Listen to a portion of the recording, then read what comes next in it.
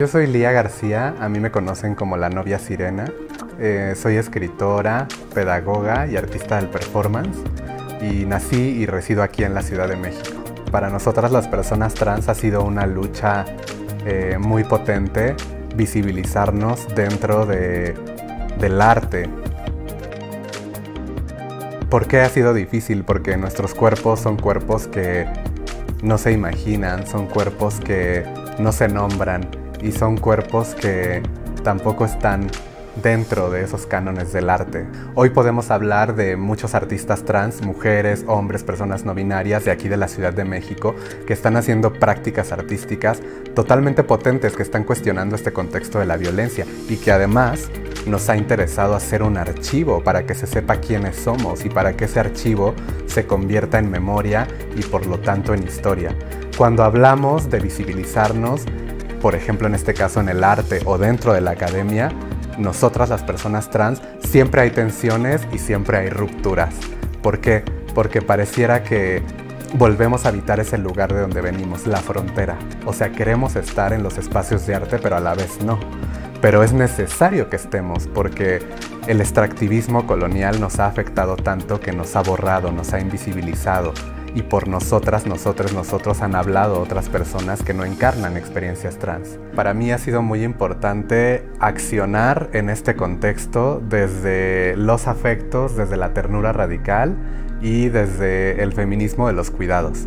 Eh, han sido ya 15 años de tránsito artístico, han sido 15 años de, de un deshacer, porque me interesa pensar en deshacer y en desaprender en los cuales pues yo he tejido mi propia intimidad como artista. Y cuando digo que he tejido mi propia intimidad como artista me refiero a que yo voy y vengo, todo el tiempo estoy de rincón en rincón.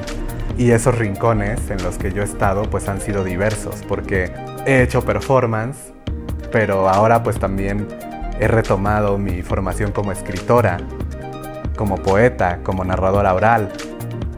Eh, en algún momento de mi historia también hice diversos collages entonces todo lo que atraviesa mi obra es un profundo diálogo con este contexto en el que yo vivo, habito y encarno, que es México, que es el segundo país en Latinoamérica en asesinarnos más a nosotras, las mujeres trans, y a los cuerpos que deciden transitar, hacia las otras feminidades.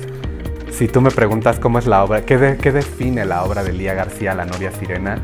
Definitivamente es el tacto lo táctil. Todas mis experiencias pedagógicas, narrativas, performáticas son táctiles. Si tú revisas fotos, videos, textos que yo he escrito, todo es táctil, todo pasa por la piel. La rabia tiene diversas tonalidades. Una es la tristeza, una es el resentimiento, otra es, otro es el enojo y otra es la ternura, por supuesto. La ternura es una tonalidad de la rabia. Creo que esas son las nuevas estéticas. La posibilidad de fragmentar la rabia, porque tenemos mucha rabia, tenemos un dolor político todavía por nuestras desaparecidas, nuestros desaparecidos, desaparecidos y por la problemática más, más cotidiana que enfrentamos, que es el transfeminicidio. Para mí la libertad es sentirme viva en un país que insiste en asesinarme de tantas formas. Para mí la libertad es despertarme y darme cuenta que siento ternura, que siento cariño, que siento deseo, que puedo ser deseada y desear.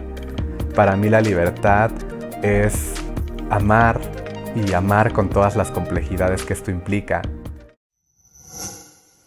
Gobierno de México.